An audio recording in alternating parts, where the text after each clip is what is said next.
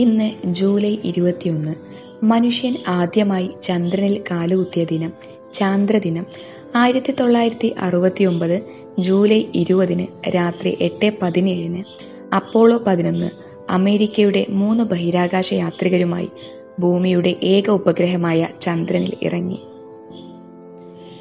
എക്കാലത്തെയും ഏറ്റവും വലിയ സാങ്കേതിക നേട്ടം എന്നാണ് ചന്ദ്രനിലിറങ്ങലിനെ നാസ റിപ്പോർട്ട് ചെയ്തത്. അപ്പോളോ പതിനൊന്ന് ലാൻഡ് ചെയ്ത് ആറു മണിക്കൂറിന് ശേഷം കമാൻഡർ നീൽ ആംസ്ട്രോങ് ജൂലൈ ഇരുപത്തിയൊന്നിന് പുലർച്ചെ രണ്ട് അൻപത്തിയാറിന് ചന്ദ്രോപരിതലത്തിലേക്ക് കാലെടുത്തു വെച്ച ആദ്യത്തെ വ്യക്തിയായി. ആംസ്ട്രോങ് ആദ്യമായി ചന്ദ്രോപരിതലത്തിലേക്ക് കാലെടുത്തു വെച്ചപ്പോൾ അത് ലോകമെമ്പാടുമുള്ള തത്സമയ ടി വിയിൽ സംപ്രേഷണം ചെയ്തു.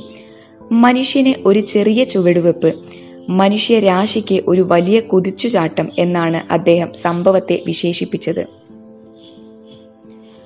ആംസ്ട്രോങ് ഇറങ്ങി പത്തൊമ്പത് മിനിറ്റിനു ശേഷം ആൽഡ്രിൻ രണ്ടാമതായി ചന്ദ്രനിൽ ഇറങ്ങി. അവർ രണ്ടുപേരും ഏകദേശം രണ്ടേകാൽ മണിക്കൂർ പേടകത്തിന് പുറത്ത് ചെലവഴിച്ചു. ഭൂമിയിലേക്ക് തിരികെ കൊണ്ടുവരാൻ ഇരുപത്തൊന്ന് പോയിന്റ് അഞ്ച് കിലോ ചാന്ദ്രവസ്തുക്കൾ ശേഖരിച്ചു. ഇതേ സമയം മൈക്കൽ കോളിൻസ് കമാൻഡ് മൊഡ്യൂൾ കൊളംബിയയെ ചന്ദ്രന്റെ ഭ്രമണപഥത്തിൽ നിയന്ത്രിച്ചുകൊണ്ടിരിക്കുകയായിരുന്നു. എട്ട് ദിവസത്തിലധികം ബഹിരാകാശത്ത് ചെലവഴിച്ച ശേഷം ജൂലൈ ഇരുപത്തിനാലിന് മൂവരും ഭൂമിയിൽ തിരിച്ചെത്തി പസഫിക് സമുദ്രത്തിലിറങ്ങി.